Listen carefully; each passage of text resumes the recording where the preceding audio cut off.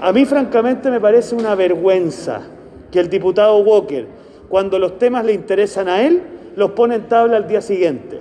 Pero cuando son temas de interés ciudadano, donde queremos saber si la oposición democrática de este país le va a cerrar la puerta en la cara a aquellos que quieren cambiar las reglas del juego, no, ahí no hay temas prioritarios. Entonces yo le pediría un poquito de coherencia al diputado Walker que ponga este tema en tabla y que veamos si la oposición democrática a esta altura del partido va a estar dispuesto a ratificar el compromiso que asumieron en el acuerdo, porque uno ve que aquí el compromiso se va debilitando con el tiempo. Entonces, ojalá la oposición lo pongamos en tabla y rápidamente le cerremos la puerta en la cara a la diputada Vallejos con su propósito de saltarse el plebiscito que tuvimos hace pocas semanas atrás.